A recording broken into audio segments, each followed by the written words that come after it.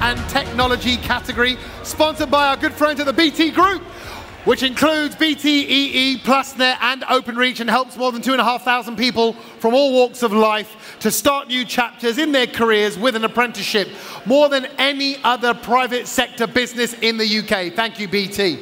To present this award on behalf of BT, can we please have Global Head of Employer Brand and Talent Attraction, Paul, onto the stage.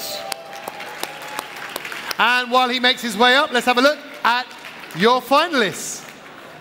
The Digital and Technology Apprentice finalists are Adil Panchbaya of Thales GTS, Abraham Al Azad of Vodafone, Asna Varasai of Crimson, Atia Hafejdi of WTW, Ayomide Makanjuola of BT Group, Chuck Wanodia Amazi of NatWest Group, Danae Daly of PwC, Inaya Ali of Autotrader, Faith Akimbo of Softworks, Harris Javid of Lloyds Banking Group, Hazik Hussain of Jaguar Land Rover, Iman Bhatti of Microsoft, Kasanth Shivakumar of Capita, Mesha Chaudhry of Apple, Nathan John of IBM, Salam Tirado Okizi of PwC, Chanel Birant of Salesforce, Sonal Jain of Goldman Sachs,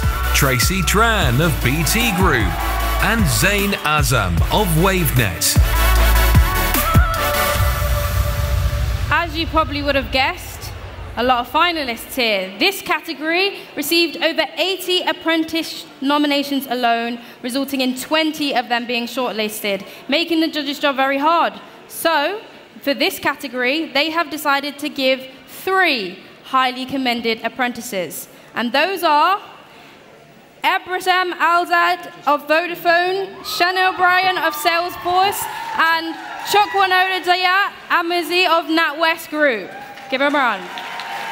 Well done, well done to all three of our highly commended. And look, you saw how many people were in that category. That's a big deal. To be highly commended Big there is deal. excellent. But this overall winner uh, is even bigger. Over to you, sir. Uh, and the overall winner for the Digital and Technology Apprentice 2023 is one of our own, Tracy Tran from BT Group.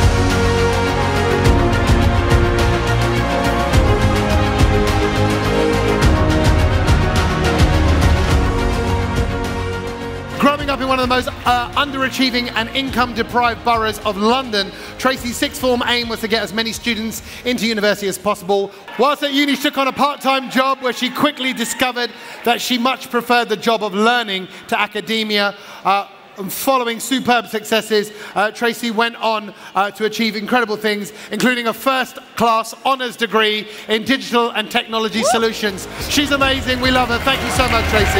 Well done, Tracy.